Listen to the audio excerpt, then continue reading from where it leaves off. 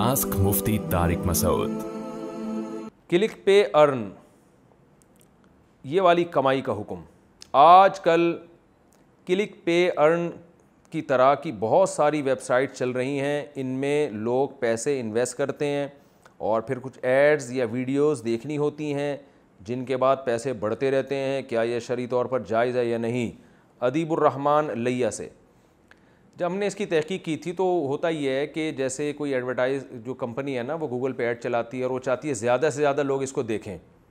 तो अब उसके लिए क्या करते हैं कि बाज़ कंपनियाँ बंदे बिठा देती हैं मुख्तलिफ़ आई से वही उस ऐड को देखते रहते हैं। तो वो धोखा एक किस्म का जो असल कंपनी है वो समझती है कि हमारी पब, हमारी जो प्रोडक्ट है वो इतने सारे लोगों ने देखी है। वो हालाँकि वो इतने सारे नहीं देखी होती वो आपने कोई बंदे बिठाए हुए होते हैं वही देख देख के उसको लाइक कर रहे होते हैं। तो ये धोखा है लिहाजा ये जायज़ नहीं है। और अगर इसके अलावा कोई और काम हो रहा है तो आप दोबारा पूछें।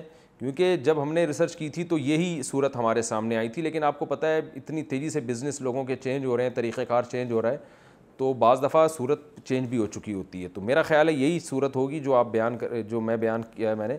अगर ये है तो फिर ये जायज़ नहीं है, क्योंकि इसमें धोखा है। आस्क मुफ्ती तारिक मसूद